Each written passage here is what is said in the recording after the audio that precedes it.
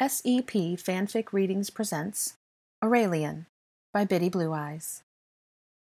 Chapter 17 Reacquainted, or Acquainted at Last. Oh, Hermione, you're back already, Mrs. Weasley said in a surprise when Hermione gave a little knock and let herself into the burrow. Yeah, we're finished for today, Hermione answered. She made her way to the kitchen, where Molly was cleaning the table and Ginny was perusing the sports section of the Daily Prophet. Harry, Ginny asked as she folded up the paper. He's okay now. We've made a plan. So he's not going into. No, he's not going into Knockturn Alley, Hermione reassured her. Thank you, Ginny said ardently. I know he can probably handle himself, but I don't think anyone should go there, but most certainly not him. I know, said Hermione. She knew how hard all of it was for Ginny to accept. Harry rarely told her much of what he did at work for that very reason. She worried for him. She knew her friend would worry for her, too, if she knew that Hermione would be going to Knockturn Alley in his place, so she thought it better not to mention it. So where's Aurelian? Oh, I'm sorry, dear. We didn't think you'd be back so soon. He just went up to the orchard with Charlie to try out his toy broomstick, Molly apologized. Ginny, why don't you go get him for Hermione? No, no, don't worry about it. He can play for a little while, said Hermione. Well, you're welcome to go watch them if you want, Molly offered. No, definitely not. I would ruin all of the fun with my worrying. I still have a hard time seeing Ginny and the guys pulling some of the tricks they do. Might have a heart attack watching Aurelian on one. Hermione chuckled nervously. It's only a toy broom, Ginny reminded to assuage some of Hermione's fears. They fly low. His toes will barely be off the ground. I know. I'll just let him have fun with Charlie and tell me about it later. I bet Charlie's having as much fun as Aurelian, Molly smiled. When I told him that Aurelian had a toy broom that he hadn't tried out yet, he was thrilled to take him up there. I hope you don't mind, Hermione. It seems our family has adopted him as a nephew, Ginny chuckled. It's good for him, Hermione replied. It really means a lot.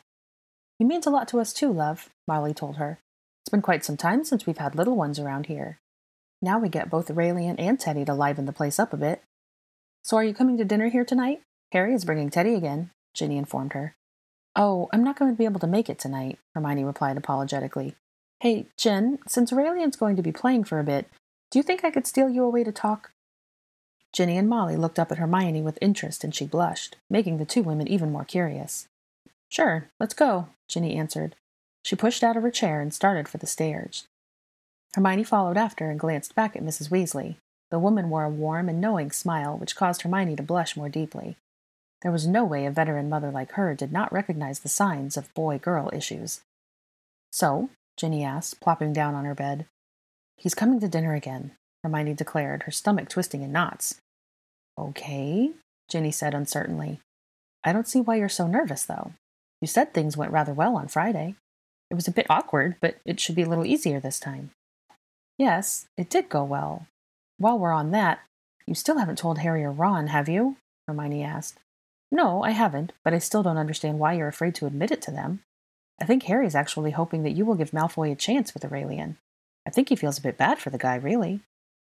Yes, but tonight tonight isn't just about Aurelian. I I invited him over as a date, Hermione hurriedly admitted. She closed her eyes and bit her lip, feeling incredibly self-conscious. Ginny's eyes widened in surprise. Really? Hermione nodded and felt quite silly about how she was acting about the whole thing. Unfortunately, feeling foolish about her insecurities did nothing to quell them. Ginny, I'm so nervous, she blurted. I've never asked a guy out before. Well, with the exception of Ron, and that was an awkward catastrophe. That's understandable, though. You and Ron had been best friends for several years then, grown up together. You were already very close. It's hard to change that into something else, Ginny reasoned. Yes, but Draco and I severely disliked each other for those same years, Hermione reminded her. Yes, but you've both grown up since then. You're not children anymore. You have the ability to see each other for who you really are now, Ginny said supportively. And Draco, is it now? Hermione blushed. She didn't know when it happened, but she had started referring to Malfoy by his first name. I just. I don't know what to do. It is so weird between us. I don't know what to expect. I don't know what to say or do. Whoa, whoa, calm down, Ginny urged. First, are you sure he knows it's a date? I mean, are you sure he doesn't think it's just to see Aurelian? He kissed me, Hermione blurted out. What? Ginny gasped. Her eyes were wide with openly gaped at her friend in shock. When? Where? Yesterday, at my flat, when we got back from taking Ari shopping. He just kissed me, Hermione said, worrying her lip once more. Wow, that's great. But, I mean, where on. On the lips, Hermione interrupted. Wow, that's rather unexpected, Ginny chuckled. Unexpected for you? I was stunned dumb. I couldn't say anything. And then I didn't think he was coming to the meeting last night, and he left right after, and okay, okay, Ginny said, trying to slow Hermione down again. So neither of you were really prepared for that, but it's not a bad thing. You know he's interested now, and he's even coming over for dinner tonight. Oh, Ginny, I can't do this, Hermione whimpered. This isn't like a normal date. He's been feeling the same way I have about the memories and about. Stop, Ginny ordered. You're getting yourself too worked up about this. This is different because you both are looking way too far ahead of what you could possibly have. Don't. You're looking at a large picture, seeing potential love and potential catastrophe. Don't. If you look too far ahead, then you'll trip up with what's right in front of you. Just go with it. Think optimistically and just go with it. See where tonight takes you, and then you can start planning for the next time you see him. If you plan any further than a day ahead, then you're going too fast. The two people you saw in that Pensieve had a lot that they experienced before they got where they were. I know, I know that, Hermione told her seriously, but that's much easier said than done. I feel like I've already seen so much of him. I feel like he has expectations for me, and I'm not sure that I'll reach them. And that's you looking too hard again. Just focus on having a nice dinner tonight, Ginny insisted. Speaking of, what are you wearing tonight? Well, I'm certainly not going to be casual as I was the last time. I want to look nice without being fancy. I was just thinking about one of my sundresses. One of my nicer sundresses, Hermione added quietly with a blush. Good. That sounds perfect. You want to feel comfortable, but also a bit sexy, Ginny said simply. Hermione's eyes widened when she heard the word sexy. Ginny laughed aloud at her friend's look of panic. Feeling sexy isn't for his benefit. Feeling sexy or pretty makes you feel more confident and therefore more comfortable, Ginny explained. Now, hair? Makeup? I don't know about my hair, but I think simple with makeup. I rarely wear any, so I don't want to, I don't know. Just something light and very natural, I think, Hermione answered, looking for approval. Ginny hadn't had much to do impressing since school, as she and Harry found themselves in a very comfortable and stable relationship. But Ginny loved playing fashion and dress up with her friends. The whole conversation was thrilling, and she looked as if she was having a hard time containing it. Good. That's perfect for you. You wouldn't want to do anything that doesn't fit you and your personality. And hair, Hmm. Ginny looked at her for a moment. You want to be you, naturally you. I say grab some Sleekeazy's hair potion and give it a little run through. Not much, just let it bring down a bit of the frizziness and let the natural curl still take over. Hermione nodded, gratefully accepting Ginny's tips. By the way, what are you planning on making for dinner? Ginny asked. Something pretty simple, as I really don't know his taste, nor Aurelian's for that matter. I thought maybe a salad and pasta with a vodka cream sauce? she asked. Sounds fantastic. Dessert or no? Always, Hermione smiled. Chocolate mousse? It's easy, but delicious.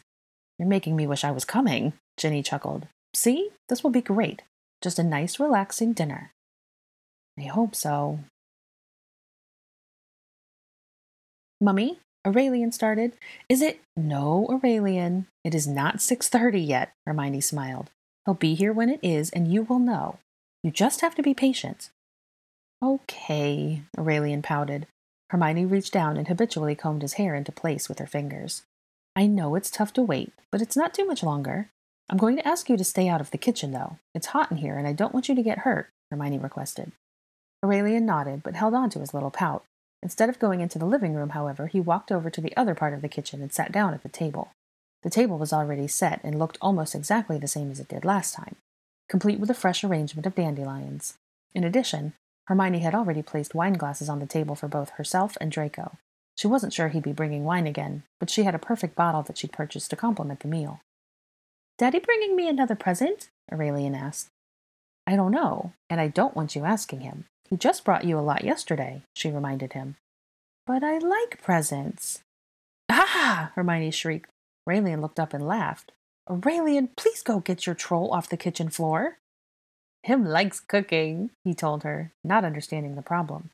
Well, why don't you take him to the table and he can pretend to cook with you? I almost stepped on him. Hermione took a deep breath to calm herself. Aurelian was the sweetest child she had ever the pleasure of knowing, but little things like that were still frustrating and she was trying to get used to it. Aurelian hopped off his chair and crawled across the floor to get his troll figurine, which was beating one of the cupboard doors with its club. Just as he reached for it, the chime from the fireplace sounded through the flat. Daddy! Aurelian cried.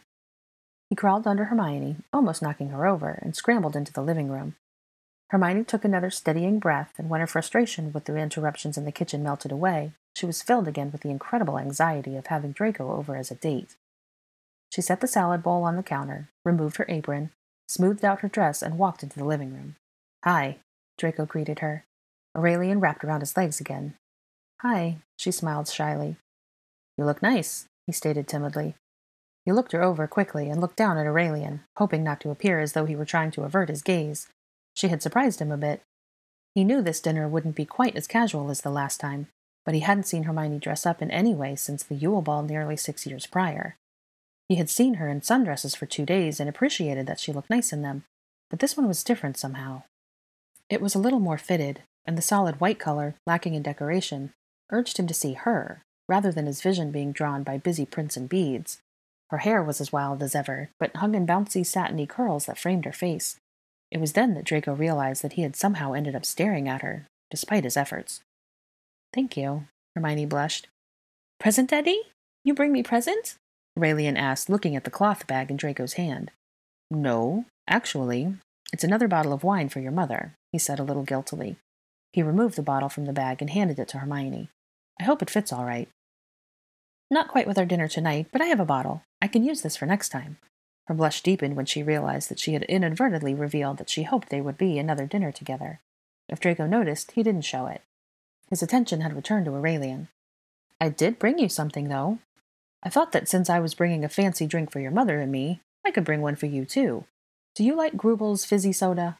He asked, taking out a bottle of lime green colored soda. I do, I do, Aurelian exclaimed excitedly. He reached up for the soda and jumped up and down gleefully when he received it. I have pretty cup too? Yes, I think you can have a fancy glass also, Hermione agreed. I'm still preparing dinner, so I thought you boys might like to play a little. Sure, said Draco. We color? You color with me, Daddy? Aurelian asked. If that's okay, he said, looking up at Hermione for permission. Yes, but we have a rule that coloring must be done at the table. Is that all right? she asked. As long as we're not in your way. No, it's fine. Aurelian, you know where the crayons and coloring books are. And make sure you remember to keep your coloring on the paper, she reminded him sternly. Just the evening before, when talking with Harry before the meeting, Aurelian had taken his crayons away from the table and started coloring the walls. She was quite mortified by it, but Harry just laughed. Kreacher had been happy to have something to do. Okay, Mummy, Aurelian agreed a little too quickly. He took hold of Draco's hand and started to drag him into the kitchen. Hermione casually snatched the glass beverage bottle out of Aurelian's hand as they passed and followed them into the kitchen. Only a couple minutes later, Draco and Aurelian were hunched over coloring books at the table. Hermione chuckled. She had never imagined she would see Draco Malfoy quietly and contentedly coloring with crayons. Returning her attention to dinner preparation, she took up her spoon and donned her vintage frilled pinny. She glanced over her shoulder at Draco, feeling a little self conscious in her apron. She shook the thought, though, determined not to show her feelings to be based on Draco's approval. What should he care anyway? It appeared that he didn't. He still hadn't looked up from his or Aurelian's coloring books. She dropped the dried linguine into the boiling water and started rinsing a few raspberries to top the chocolate mousse. Despite his efforts to concentrate on Aurelian and his coloring book, Draco couldn't seem to stop peering over at Hermione every few seconds. There were only a few times in his life that he had actually watched someone cook. He had grown up with the service of house elves and really took for granted how the prepared food ended up on his plate. It looked like there was quite a bit to it, but Hermione flitted around the small kitchen with ease, she was in her element and floated gracefully from one task to the next. He loved the adorable pensive look she wore when she tasted the sauce. Only after a second's pause she seemed to know exactly what she would add to improve the flavor, because when she tasted it next, she looked quite satisfied. She was such an intriguing creature, and he couldn't stop glancing at her. Daddy, no purple hair, Aurelian admonished, bringing Draco back to his task. He looked down and noticed that he had accidentally picked up a purple crown instead of brown, the witch he'd been coloring had quite vivid violet hair. And why not? he asked, making as he had done it on purpose. It's silly, Aurelian giggled. Is it sillier than green skin? he asked, picking up the green crayon and coloring the witch's face with it. Aurelian burst into hysterical giggles. Or a pink broom? He smiled, quickly coloring the broom's handle. More, Daddy, Aurelian insisted. With blue spots. He added spots to the broom. Orange, orange hands, Daddy, Aurelian requested. Hermione looked away from her cooking and laughed at the sight of them. She still couldn't believe how good Draco was with Ari. It was almost like he was still a kid himself. That, too, was something she had never imagined. Draco Malfoy is a toddler. She wondered what he had been like. All right, guys, it's time to put the crayons away because dinner's ready, Hermione announced. Mummy, Mummy, look what Daddy drew. He color her funny. Aurelian giggled behind his hand, holding up the picture for his mother to see. He certainly did, Hermione smiled. I put it on icebox? he asked. Sure. Put it on the icebox? Draco asked curiously. Um, yes. It's a tradition to hang children's artwork and award certificates on the icebox with magnets. Just a simple way to display them. I didn't realize that it was strictly a muggle thing, she mused. Well, it might not be. I've never seen our icebox. The kitchen in our home is set apart where only the house elves go, Draco explained. Hermione nodded. She was rather surprised to find that she wasn't as upset at the mention of house elves this time. Can I help with anything? Draco offered. I think I have it, although you could pour Aurelian's drink if you don't mind. Of course. Draco moved all of the place settings back into place, while Aurelian put the coloring books away, and then he poured the green soda into Aurelian's small wine glass. Aurelian looked positively giddy at the sight of it. Hermione brought the dishes to the table and offered to Draco to help himself while she began to pour the wine. This time she remembered to place the bottle away from the busy tot. What this? Aurelian asked, looking at the pasta on his plate. Draco was sort of glad his son had asked. It was obviously some sort of pasta, but he wasn't sure what kind of sauce it was. It's linguine with vodka cream sauce, Hermione told him. I can't like that, Ari said with a sneer at his plate. Of course you can. It's spaghetti, Hermione said, putting it in terms he understood. Oh, he said brightly, digging his fork enthusiastically into the nest of pasta. Hermione rolled her eyes and Draco chuckled. Hermione took a bite herself and secretly watched Draco to see if he liked it. She really wasn't sure if he was a picky eater, but she assumed most people like pasta with the tomato sauce. She relaxed when she saw he enjoyed it. So, Draco started. Potter said he was meeting with Weasley this afternoon. He was supposed to have met with Bill. Yeah, Hermione replied. Bill works for Gringotts, and they're working together to see if they might be able to secretly have a look at records connected to the Parkinsons. If they're being threatened, it might be for money, or supplies, or some kind. Either way, they would probably need to make large withdrawals, and we're hoping, if that's true, that we can find a pattern, or a flaw in the pattern of withdrawals. The problem lies in getting the goblins to allow us to have a look. They are very serious about client privacy. While that's appreciated, we wish they would relax about it when the ministry makes inquiries for legal investigations. Bill said that it might be better to try to butter the goblins up without mentioning the ministry first, as they might protest even more if they know the ministry is involved. They don't much care for the ministry involvement, yeah, they don't much care for wizards in general. I think one of the only reasons they tolerate us is because of the hold they have over us in the banking system, Draco agreed. About the Parkinsons, I spoke with Blaise last night. I mentioned my concern about Pansy and her family, being rather vague. It turns out that he knows that I'm working with you and Potter on something, but I told him it was confidential. He agreed to keep an eye out for me. He'll let me know if he notices anything. That's great. And Harry did speak with Kingsley today. The case is officially confidential now, Hermione informed him. Enough about that, though. I like your policy of no work at the table. Well, I kind of agree with that. I have to admit, I'm rather curious about your work in international magical cooperation. What about it? he asked curiously. Well, I've worked with you a few times for international crimes, but I know that's just extremely rare for you to deal with. I guess I'm just curious about what you do, and how did you ever get into it? Well, I actually became sort of interested around the time of the World Cup when I was 14. Seeing everyone from so many backgrounds, I realized I didn't know much outside my own life. Then Beauxbaton and Durmstrang came to the school, and I felt even smaller. He explained. The war ended, and I was able to take my NEWTs after only two months of study, and did rather well. I still didn't know what I wanted to do. When I was looking through my options, that one stood out. It mentioned that traveling would be required, and that sealed it for me. Do you travel often, then? she asked. Depends on what you call often. I tend to travel about once or twice a month, but it's usually only for two or three days at a time, Draco told her. It's usually paperwork, compromises, and deals. I'm sent in as representation of our department, just a messenger, really. You say that like it's a small position, but it's rather impressive how high up you are only two years after joining the department, Hermione said seriously. Thank you, Draco said, surprised and flattered by her comment. What kind of places have you visited? What's been your favorite? I've traveled quite a bit, really, mostly just around Europe. I've gone to the United States once. I also went to Singapore and Japan. Japan was definitely my favorite experience. Depending on when we finish all of this, I might get to go back soon. Japan is to host the final of the next Quidditch World Cup, so we've got a lot of talks to have with them. The next World Cup is still a little over two years away, Hermione said incredulously. And they started talks about it two days after the last one, Draco chuckled. We've been in contact with the other hosting countries, too. But as the final games get so much attention, there's a lot to go over about security, transportation, language barriers, proper dress. You know, this is all terribly boring. You can't be interested in this. I am, though, Hermione insisted. I certainly haven't seen much of other wizarding cultures, and I think it's rather fascinating. Really? Draco asked a little skeptically. He caught the look on her face and realized that she meant it. Yes. So, what makes Japan your favorite so far? she asked.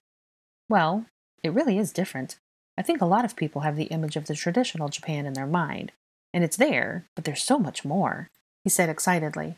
Hermione smiled at the fire of passion in his eyes. Much of the older generation of wizards still dress and perform tasks in traditional Japanese fashion, the ancient way, but much of the younger generation is a little more modern. On the whole, most people seem rather extroverted compared to us.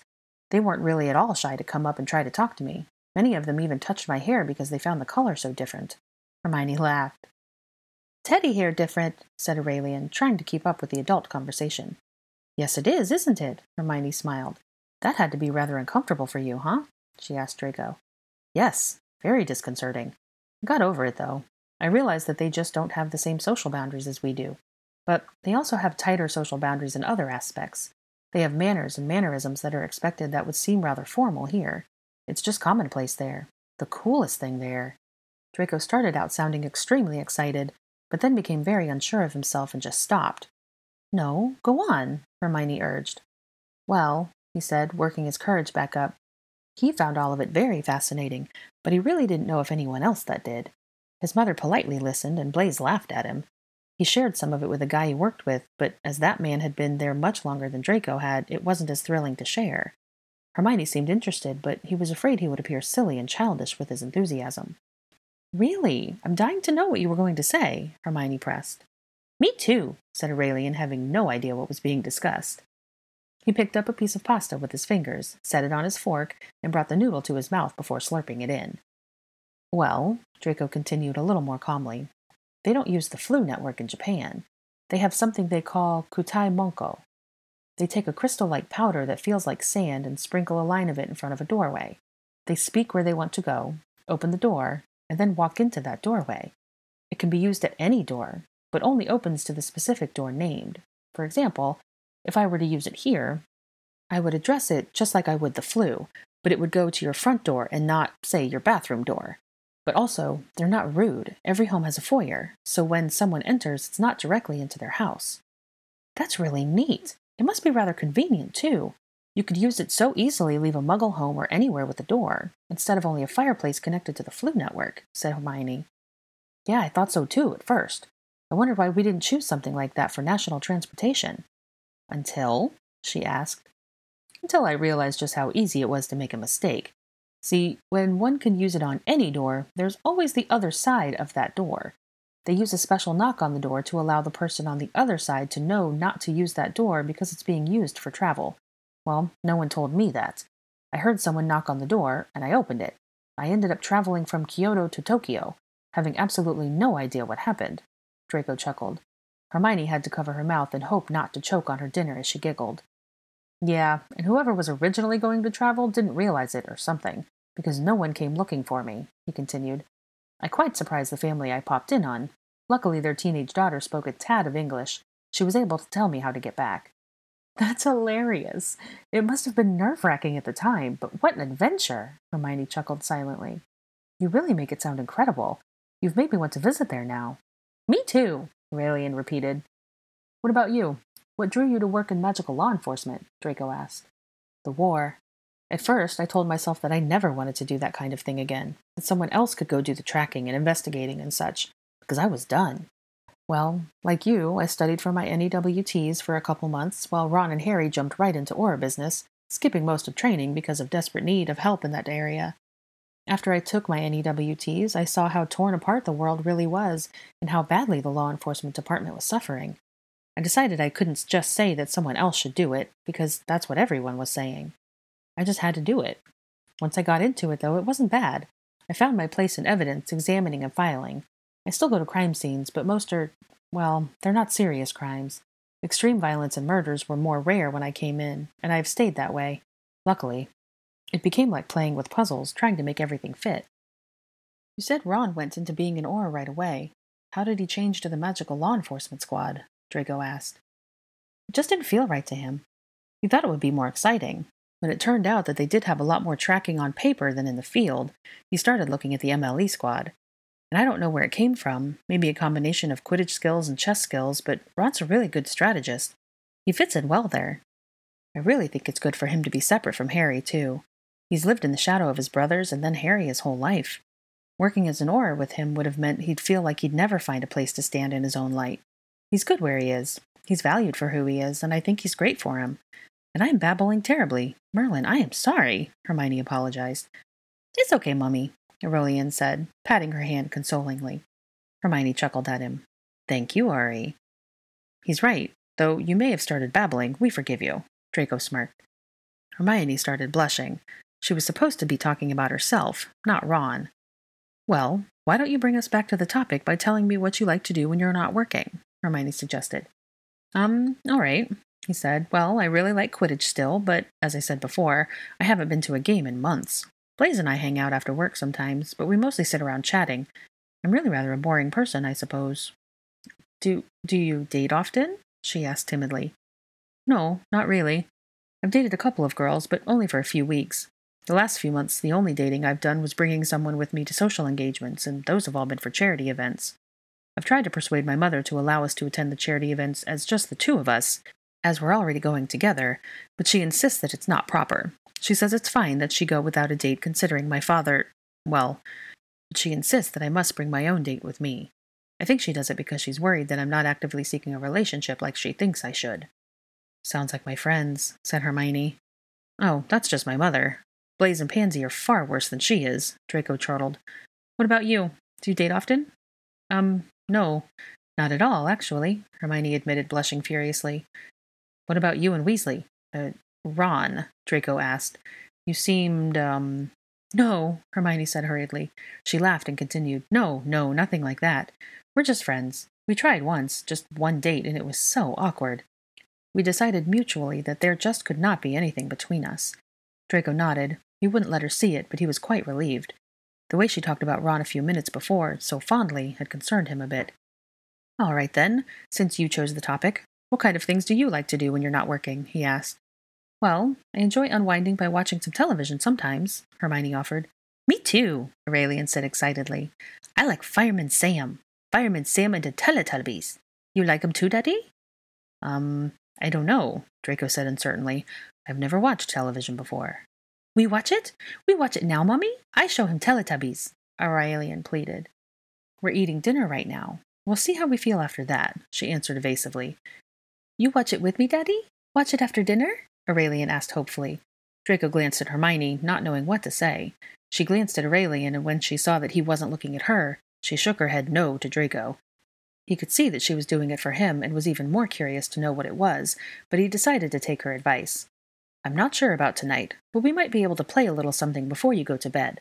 I see that your troll was out. Yeah, we could play my troll, Aurelian said excitedly. You have to finish your dinner, though, Hermione reminded him. So, you were saying, Draco prompted. Oh, right. Well, I'm rather a boring person myself, I suppose. As everyone seems to remember about me, I like to read, she offered. That's a very broad statement. What do you like to read? Draco inquired. Well, recently I've taken to magazines. I subscribe to Popular Potions, and I really find it fascinating, but it only comes out every three months. I just started a subscription to Witch Weekly a couple months ago. I used to scoff at it when I was in school, but they have some really good recipes and useful spells and tips for keeping house. But magazines get finished too quickly. I'm really a person who enjoys novels, muggle or wizard. I enjoy both. I'm currently reading Agatha Noel's Werewolf Tragedy series. Really? And what do you think? he asked curiously. I'm really enjoying them. I only discovered them about a month ago, she said. Which one are you on? I'm a little more than halfway through the third book. Why? Have you read them? Yeah, it's my favorite series. Not that any reach the spot is my favorite book, but certainly my favorite series. Have you read the fourth? That's the most recent, isn't it? Hermione asked excitedly. Yeah, it's fantastic. I can't believe that in the end she. Don't! Hermione shrieked. Aurelian jumped in his seat and Draco burst out in a hearty laugh. Hermione narrowed her eyes at him, uncertain of what to make of his reaction. I'm sorry, he apologized, trying hard to school himself back into a calm state. Hermione still looked at him warily, but started to relax a bit when she saw the wide, genuine smile he wore. I wasn't going to say anything. I couldn't help myself. I just wanted a reaction. Pansy did the same thing when I did it to her, although you must be a little more restrained than she is, as I'm not wearing your wine. Hermione had settled, but she still couldn't bring herself to smile. She felt uncomfortable in a different way then. She and Draco Malfoy were not only carrying on a civilized conversation, he had had joked with her, no cruelty involved, just played with her to get a laugh. It was just like something Harry or Ron would pull. She realized that she was beginning to become comfortable around him, and it seemed so comfortable that it would become uncomfortable. Only, did he see it like that, or just her? I'm sorry, he said once more, his smile beginning to fade when it didn't look like his joke had been accepted well. No, it's okay, Hermione said, putting on what she hoped was a convincing smile. You just really played with my emotions there for a second. Apparently, I'm a little more serious about books than I should be. I like books, said Aurelian. I like Hopping Pot. That's right. I got to read that to you the other night, didn't I? Draco said with a smile, realizing that they had left the little person out of the conversation. He asked, So, tell me, Aurelian, what did you do today? Hermione stood and began to clear away the dinner plates. I went with Mummy to see Helen, and what was the grumpy guy's name, Mummy? Aurelian asked casually. Hermione stopped mid step, the cup of chocolate mousse frozen in her hand a few inches above the table. She shook herself and placed it down in front of Aurelian. You can call him Granddad. And do you think you could try to call Helen Grandmom? Okay, he smiled. We went to see Helen, um, Grandmom and Granddad today. Draco looked up at Hermione. She had avoided looking at him when she set the dessert down in front of him. She looked so hurt and injured that he wanted to say something, but he didn't know what he could offer. And she give me a lots of eggs and a muffin to take to Aunt Molly's, Aurelian continued cheerfully. Did you have fun there again? Draco asked him, still keeping his eyes on Hermione. Yep. Charlie helped me fly on my broom today. I went so fast, he shouted, standing up in his chair with his arms in the air. Charlie chased me everywhere, all around. I was too fast. Sounds like a brilliant time, Draco said with a smile at the enthusiastic Tyke. Uh huh. I went zoom, zoom, zoom, run right into the tree, he laughed. What? Hermione asked suddenly. Yeah, huh? I got an owie on my knee and broke the broom, but Charlie made it all better, Aurelian assured her. Hermione did not look comforted. He's fine, Draco told her. Look at him. It hasn't deterred him at all. So he didn't really get hurt. And those brooms really aren't fast. If he says it was broken, it was probably just a tiny snapped twig. It's nothing to worry about, I promise you, he assured her. When I was his age, I thought I was king of the world on my toy broom. But I also thought I was the fastest runner in the world. Don't worry about him. You take me flying, Daddy? You play with me and a broom? Aurelian asked. I'd like that. We'll have to see, though, Draco told him, uncertain when and where he'd have the chance. All right, Hermione said, standing again. Looks like we finished dessert. Do you two want to go play a bit before bed, or. Yeah, we'll play, Draco told her. He enjoyed their conversation at dinner, but he felt quite guilty that Aurelian had been so left out. Yay! Aurelian cried, rushing off to the living room. Draco smirked and followed after. Hermione spent the next ten minutes cleaning up the dinner plates and the kitchen counters. She wanted to give the boys some more time to play privately. When she was through, she walked into the living room and sat on the sofa, handing another glass of wine to Draco, who nodded in appreciation. He was again sitting on the floor, with Aurelian with several figurines in front of them. They had two trolls and a handful of witch and wizard figurines. Hermione was personally unfamiliar with the figures, but the way Draco had explained them to her, they were fictional characters that were much like Muggles superheroes. She was amazed, even more than before, when she saw the way Draco played with Aurelian. Quidditch was something that most adults could appreciate, but there he was making voices and grunts for the troll and wizard as he was in charge of. At one point, she had to stifle a giggle. Draco had seen her, though, and sneered playfully. You know, Aurelian, I think your mummy should get down here and play too. What do you think? Draco suggested with a sly smirk. If she could laugh at him for playing, then he thought they should be on level ground. Yeah, Mummy! Aurelian said excitedly. Sorry, guys, not this time. A rain check, though, Hermione replied. Oh, come on, Draco goaded. You're not afraid of a little old troll, are you? Of course not. Just after playing with the real thing, how can toys compare? She said playfully. Oh, that's right, Draco said, the memory returning to him. It was you that found that troll in our first year. No, it found me, Hermione corrected. Huh, he laughed. That seems like so long ago. Well, it was, wasn't it? Well, sort of. It's been ten years. But those ten years have really flown by. Daddy, Aurelian grumbled, upset that his father's attention had been stolen away. I'm sorry, Hermione apologized, but actually it's about time we get you into bed anyway.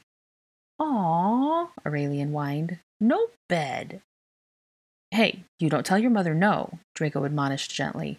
Good men mind their mothers. Hermione looked at him with a soft smile, surprised by him once again. It was nice to have his support, but what was even more significant was his use of the word men. It was one thing to say good little boys, but he had said good men. It spoke louder somehow. It included him when he said it.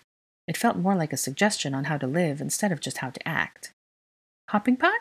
Hopping pot, Daddy? he pleaded. Draco looked at Hermione, seeking her permission. She smiled, nodded, and summoned the book for them. Okay, said Draco, but when I finish this, you go to bed with no more fuss, right? Right, Aurelian agreed, climbing into Draco's lap. When the story was finished, Hermione excused herself and Aurelian so that she could put him in bed. Please, Mummy, please, my song, Aurelian begged as Hermione pulled his pajama shirt over his head. I'm sorry, but your father is out there waiting, Hermione apologized. Please, please, please, please, Mummy, he pleaded. Hermione sighed, pushed his hair off his forehead, and stared into his silvery eyes. She smirked and shook her head. He was simply impossible to say no to. All right, get under the blankets and close your eyes. Aurelian quickly did as he was told, and Hermione turned out the light. She sat down on the edge of the bed and rubbed his back as she sang. Good night, my love. The tired moon is descending. Good night, my love. My moment with you is now ending. It was so heavenly holding you close to me. It will be heavenly to hold you again in a dream. The stars above have promised to meet us tomorrow. Till then, my love, how dreary the new day will seem. So for the present, dear, we'll have to part. Sleep tight, my love. Good night, my love. Remember that you're my sweetheart. When the song was finished, she leaned forward and placed a kiss on his forehead. Good night, Aurelian. Hermione opened the door and gasped to see Draco standing there. Sorry, he apologized quickly. I mean, I didn't mean to startle you. I just had to use the toilet, and when I came out, I heard you singing. I was pretty nosy, I guess. No, no, it's fine. I was just startled, is all, Hermione told him. Regardless of what she said, she was embarrassed to know that he had been overheard. So, what song was that? Draco asked as they both walked back into the living room. Oh, it's something he asked me to sing. I guess I used to sing it to him most every night. It's an old Muggle song by Ella Fitzgerald. My dad used to sing it to me, she finished quietly. Draco looked at her sadly. He didn't know what had happened at her parents' house that day, but he knew it hadn't gone well. He wanted to ask, but knew that if she wanted to talk about it, she would. He didn't want to pry. It was too personal. It's a nice song, Draco commented. Yeah, I really don't do it justice, though, Hermione said bashfully. I think you sing quite nicely. Hermione blushed deeply. Well, um, thank you. I still don't do it justice, though. It's big band music, so the instruments are a large part of it. Big band? Draco asked. Yeah, jazz music, Hermione told him as she sat on the sofa. Sorry, I forget that wizards don't have as many music styles. What do you mean? Well, there are a lot of different genres in muggle music. Here, there's basically music like Celestina Warbeck or the Weird Sisters, Hermione explained. Tell me then, what other kinds of music is there? Draco asked. Oh, tons, Hermione replied. Way more than I could mention. There's jazz, classic rock, punk rock, rap, techno, pop, then ethnic styles like salsa and reggae. There's so many. Hermione stopped and her excitement faded. Sorry. What? Draco asked, looking rather confused. I'm sure you're not really that interested in hearing about muggle things that I have a tendency to go on and on about, Hermione admitted apologetically. No, it's okay, said Draco. Really? she asked skeptically. I mean, you've always seemed against all things muggle, he offered. Yeah, well, I was always taught that there was one right way to be, one right way to do things. I guess. Over the years, I started wondering about how other people did things. I started working for the International Magical Cooperation, and I started traveling and seeing all different kinds of people with a lot of different backgrounds and traditions. I thought, well, they can't all be wrong. I guess, well, muggles might be the same kind of way. I don't think they're wrong, just different. Really? Hermione asked. It meant so much to her that she didn't know what to say or do. She was overwhelmed. It's still really different. I still don't really know much about it. It's a strange culture. As soon as he said it, he quickly added, But that's not a bad thing, just a bit intimidating. I know. I had a lot to learn when I entered the wizarding world. Do you miss it? Living in the muggle world? Draco wondered. Um, no, she admitted truthfully. I never really left it. Well, that's how I see it. We're in the muggle world right now. I'm sure you've seen that I still hold on to some muggle things. I have electric lights and television. I listen to muggle music and still wear many muggle clothes. I use more magical things than muggle, but I think I've learned to live in both worlds quite well. You might have to show me that television thing sometime, Draco said, looking a bit flustered. All muggleborns and even some fascinated wizards talk about it. And why did you want me to say no to Aurelian?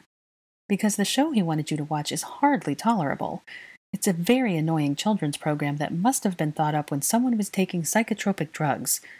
Draco laughed at Hermione's vehement distaste. I wasn't about to let that be your first impression of television. No, if you're actually interested, I'll put in a film or something sometime. Yeah, I think I'd like to see what it is, he agreed. You know, if you ever have a question about a muggle thing, you can ask. But if I ever start going on about them and it's a bit much, you can also ask me to tone it down. I won't be offended. Ron gets quite fed up with Harry and me going on about stuff sometimes, Hermione told him. Draco nodded. They sat in silence for a few moments before Draco stood. Well, I guess I should probably go. Hermione stood and nodded. Yeah, I guess. I mean, you don't have to, she said suddenly. I mean, I'm not making you. I just. She blushed deeply. She couldn't seem to be able to verbalize what she meant. I understand, he told her. Thank you, again, for dinner. It was really nice. Very good. I really enjoyed talking to you. I enjoyed it too, she smiled. She was starting to get uncomfortable once more. They stood rather close to one another again, and she couldn't stop thinking about the kiss he had given her the day before. She could not decide if she wanted him to do it again. She thought she rather wanted him to, but she just didn't know. He looked both curious and anxious as he reached down and took her hand in his. He didn't fully understand his action. He had just realized that he had never really touched her before. Her hands looked so small and delicate, her fingers so dainty.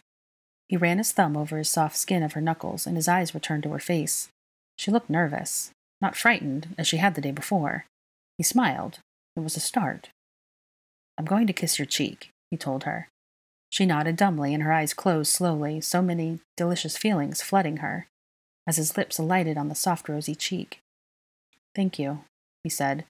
Hermione's eyes fluttered open. She wasn't sure whether he was thanking her again for the meal or for the kiss, but she wasn't sure what to answer to either. Thank you, she returned. I. I'll see you tomorrow. Draco nodded. Good night.